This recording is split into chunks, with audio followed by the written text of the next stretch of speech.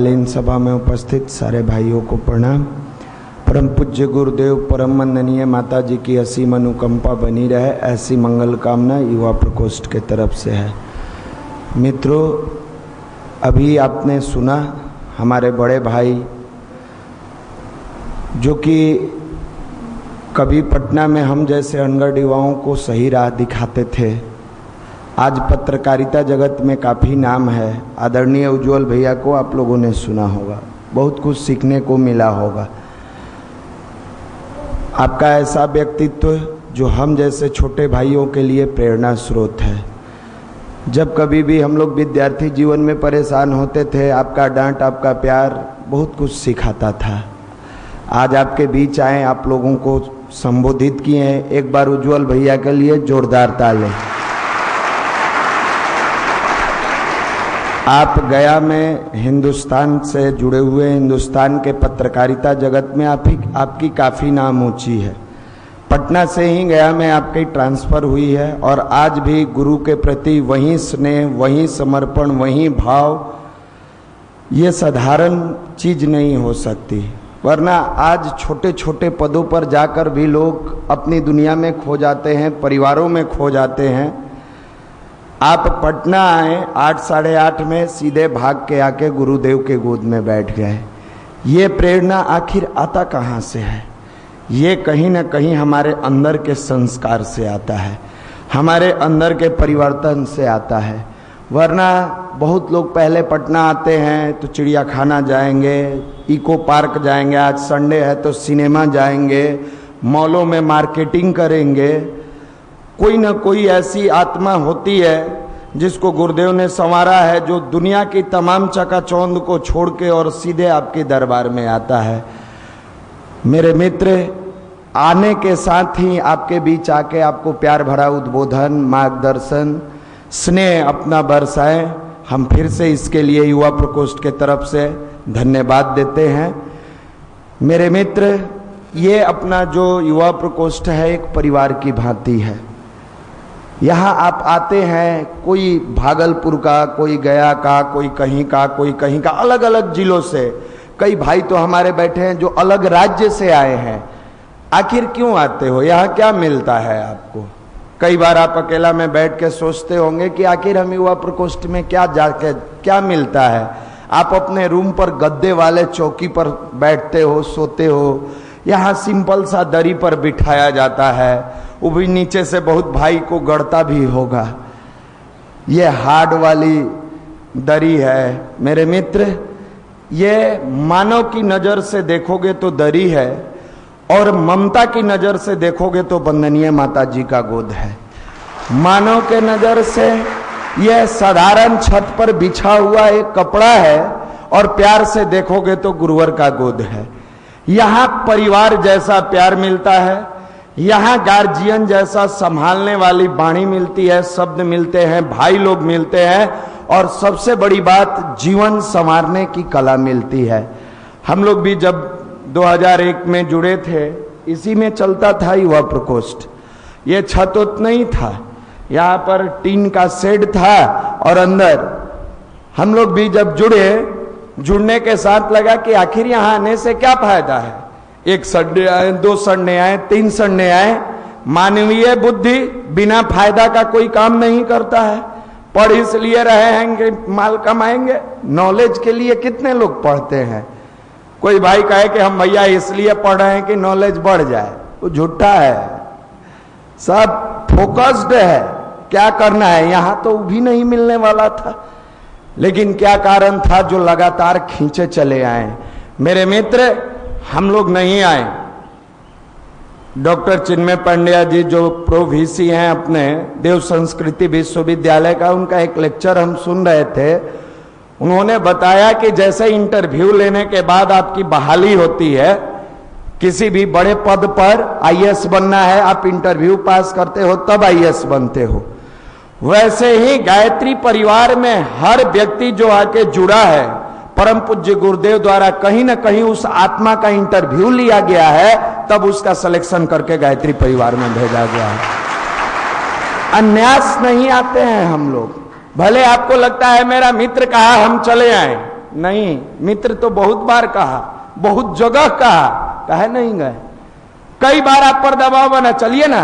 ए, छोड़ो ना मंदिर जाकर क्या करेंगे?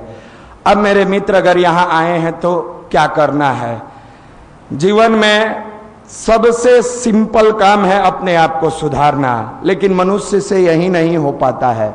सबसे सिंपल काम है कि आप अपने जीवन की बुराइयों को त्याग दीजिए। न इसमें पैसा लगता है, न इसमें किसी भी तरह का दबाव है। आपको अच्छे बनने में पैसा खर्च होता है क्या?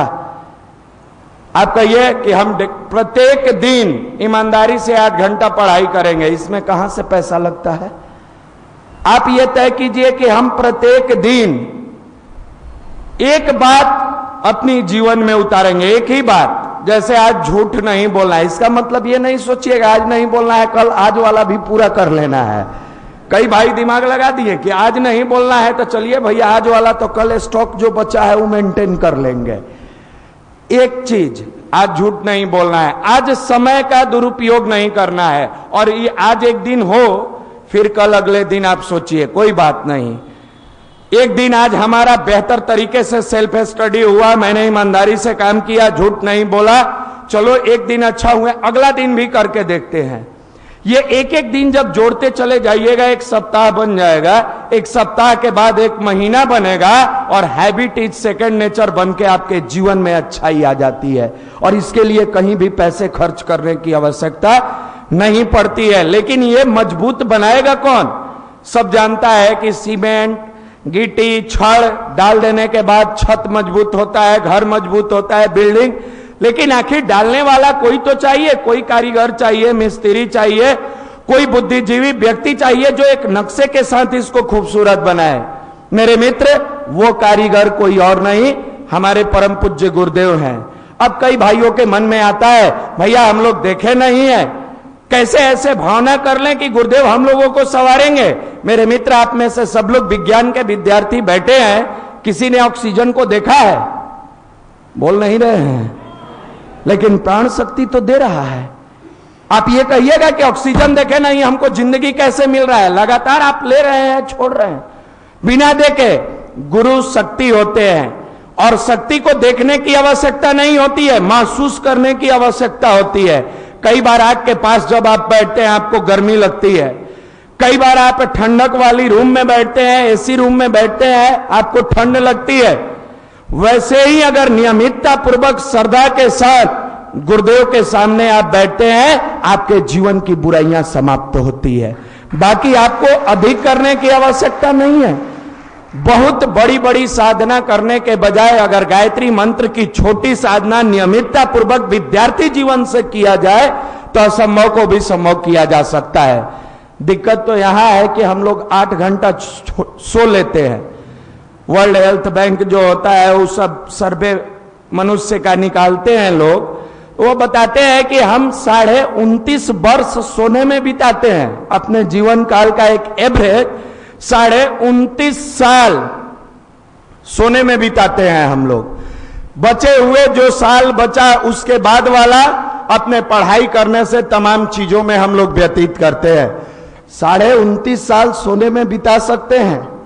लेकिन 20 मिनट के हिसाब से प्रत्येक दिन साधना करने में किन्हीं भाई का क्लास छूट जाता है, किन्हीं भाई का नींद नहीं खोलता है मेरे मित्र, जो अब मनुष्य अपने जीवन को सुधारने में प्रत्येक दिन अपने लिए 20 मिनट नहीं दे सकता है, वो कल्पना करता है कि हम आईआईटीएन बनेंगे, हम बैंक पीओ बनेंगे, हम रेलवे में जाएँगे। मेरे मित्र, आप प्रत्येक जगह जाइए। आप परमात्मा करे, गुरुदेव माता जी करे कि जो आपकी इच्छा है वो पूर्ण हो, लेकिन एक आग्रह ज़रूर आपसे है।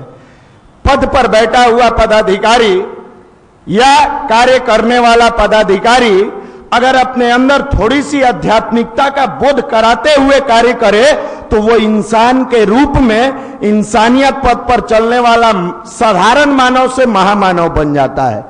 आप विद्यार्थी हो, एक वो भी विद्यार्थी है जो कान में ईयरफोन डाल के टाइम वेस्ट करता है, लड़कियों के पीछे भागता है, नेट की दुनिया में अपने आप को डुबा के रखा है पटना के तमाम बुराइयों में लिप्त है। दूसरा एक वो भी विद्यार्थी है जिसको उसी लॉज में बाबा कह के ताना मारा जाता है। बाबा है, लेकिन वो सुबह में जगता है, ब्रह्म मुहूर्त में जगने के साथ साधना करता है और अपनी पढ़ाई के रूटीन को ठीक रखता है। अपने आप को ठीक रखता है, इसलिए नहीं कि मेरा जीवन सफल हो जाए, इसलिए कि मेरा जन्म इसी कारण हुआ है और इसको हम बेहतर बनाएँगे।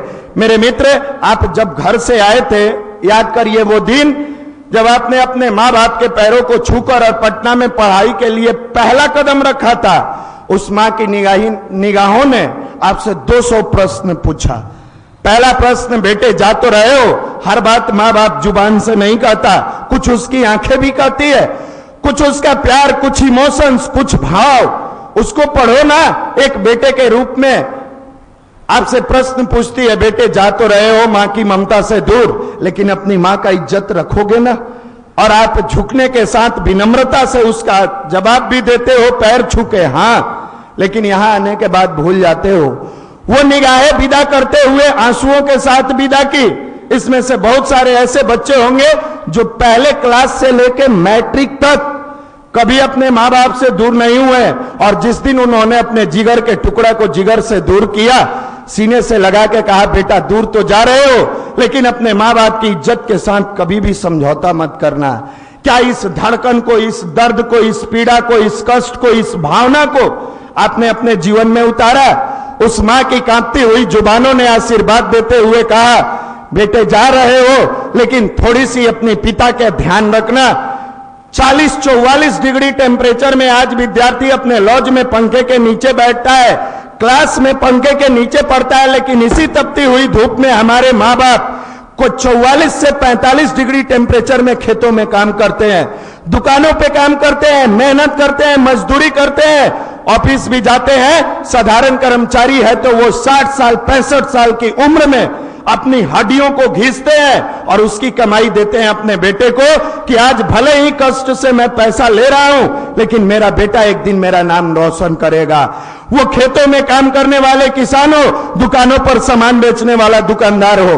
घर में बैठा हुआ साधारण सा पिता हो या कर्मचारी बना हुआ बाप हो, हर व्यक्ति हमेशा अपने बेटे की भावनाओं को समझते हुए आपके उज्जवल भविष्य की कल्पना करता है और मन ही मन दोहराता है, तुझे सूरज कहूँ या चंदा, तुझे दीप कहूँ या तारा, मेरा नाम करेगा रोशन जग में मेरा राज दुलारा। क्या ये शब्द आपके कानों में गूंजते हैं? अगर गूंजता है तो आपके अंदर आध्यात्मिकता का बोध है। अगर नहीं गूंजता है, मेरे मित्र आज से शुरू करो बी प्रैक्टिकल आप आज से शुरू करो। परमात्मा के सामने बैठ के पूरी भावनाओं के साथ 20 से 30 मिनट गायत्री मंत्र की साधना करो। दुनिया में किसी की आवश्यकता नहीं है कि हमारी बुराई को दूर करे। अपने आप गायत्री की साधना करने से जीवन की तमाम बुराइयाँ दूर हो जाती है। तमाम बुराइयाँ दूर होती है। मेरे मित्र, यह प्रैक्टिकल साधना उस परिवार के लिए, उस पिता के लिए, उस माँ के लिए है, जिस पिता ने उंगली पकड़कर चलना सिखाया। छोटे छोटे पाँव से लड़खड़ा के जब गिरते थे, दुनिया कहती थी आपका बेटा गिर गया। बाप को गिरना शब्द मंजूर नहीं था। आके उठा के आकाश में उछाल के करते थे, मेरा बेटा उछल गया। जब नौ महीने माँ ने दर्द से पाला, दुनिया ने बहुत सारे बातें कही, लेकिन माँ उस दिन का इंतज़ार कर रही थी। जिस दिन ये बादल में ढका हुआ सूर्य एक दिन उदय होगा और मेरे परिवार को प्रकाशित करेगा। वो दर्द भूल गई अपने संतान की खुशी के लिए। मेरे मित्र, आपसे करबद्ध प्रार्थना है, उस माँ की ममता को दागदार मत बनाओ। ईमानदार बन के काम करो। अगर 44 डिग्री टेम्परेचर पर हमारे माँ बाप हमारे गार्जियन खेतों में मेहनत कर सकते हैं तो हम पंखे के नीचे बैठ के आठ घंटा पढ़ाई क्यों नहीं कर सकते हैं? हम पंखे के नीचे बैठ के अपने जीवन को क्यों नहीं सुधार सकते हैं? मेरे मित्र, यहाँ से बताने वाली चीज़ें, ये चढ़ाया हुआ ब्लड है। हम लोग यहाँ से जितनी बातें आपको बता दें, ये चढ़ाया हुआ ब्लड है। कई बार मनुष्य के शरीर में होमोग्लोबिन की कमी होती है डॉक्टर के पास जाइएगा, चढ़ा देता है। थोड़े देर के लिए तो मेंटेन हो जाता है, लेकिन आप विज्ञान के विद्यार्थी बैठे हुए हैं उस मनुष्य के शरीर में ब्लड बनना बंद हो जाए तो क्या वो मनुष्य जीवित रह पाएगा? चढ़ाया हुआ ब्लड कितना काम आएगा? हम बोले, भैया बोले, अभी हमारे उज्जवल भैया बोले, भाई अभिषेक जी बोले, राजीव जी बोले, जो भी बोले, ये चढ़ाया हुआ ब्लड है। जब तक स्वयं आपके अंदर अच्छे विचारों को अपनाने की टेंडेंसी नहीं आएगी यह चढ़ाया हुआ ब्लड बहुत दिन काम नहीं करेगा। यह थोपी हुई बाणी बहुत काम में नहीं आएगी। इसके लिए आपको मेरे मित्र साधना करना होगा। कई बार युवा के बारे में अलग अलग परिभाषाएँ दी जाती है। युवा ये है, युवा वो है। कई बार धर्म के नाम पर भी परिभाषा अपने अनुसार हर व्यक्ति देता है। हम लोगों से भी कई बार आपके जैसे प्यारे भाई लोग पूछते हैं भैया, धर्म की परिभाषा क्या है? मेरे मित्र इतने पढ़े लिखे हम लोग नहीं है कि धर्म की परिभाषा बताएँ। लेकिन टूटी पोटी शब्दों में जो धर्म की परिभाषा हम लोगों को आती है, वो मात्र एक है कि हर मनुष्य अपने कर्मों को अगर ठीक कर ले, इससे बड़ा धर्म इस दुनिया में कुछ नहीं हो सकता है। अपने धर्म को सही, कर्म को सही कर लीजिए, आपका धर्म सही हो जाएगा। इससे बड़ी परिभाषा आप क्या हो सकती है? मेरे मित्र, आप यहाँ आते हो, आपसे भाव भरा निवेदन है। यहाँ बोले कोई, सुनाए कोई, शब्द किसी का हो, भाव गुरुदेव का होता है। ताकत गुरुदेव की होती है। कई बार आकाश में पतंग उड़ता है और लो दुनिया को लगता है, क्या गजब है। आकाश में पतंग उड़ रहा है। पतंग की कोई औकात नहीं है, वो तो क्षमता है उड़ाने वाले की उंगली में। जो आकाश चुमवाता है। कई बार हारमोनियम बजता है, लोग खुश हो जाता है, वो लकड़ी के खोमचे में तार की जाली का बना हुआ हारमोनियम बड़ा शानदार बज रहा है। मेरे मित्र, हारमोनियम की क्या बिसात जो आवाज़ निकाले। वो तो कला उस बजाने वाले की उंगली पर है, जो उस हारमोनियम से आवाज़ निकाल के लोगों को थिरका देता है। एक बार भगवान श्री कृष्ण से राधा पूछती है कि, प्रेमिका, हमको मानते हैं? और आप बांसुड़ी को हमेशा ज़ुबान से लगाए रहते हैं। आखिर क्या बात है? भगवान श्री कृष्ण ने बड़ी विनम्रता से जवाब दिया कि जिस दिन मनुष्य अपने आप को उस बांसुड़ी की तरह खाली कर देगा, उस दिन से परमात्मा उसको अपने हृदय में बैठा लेंगे।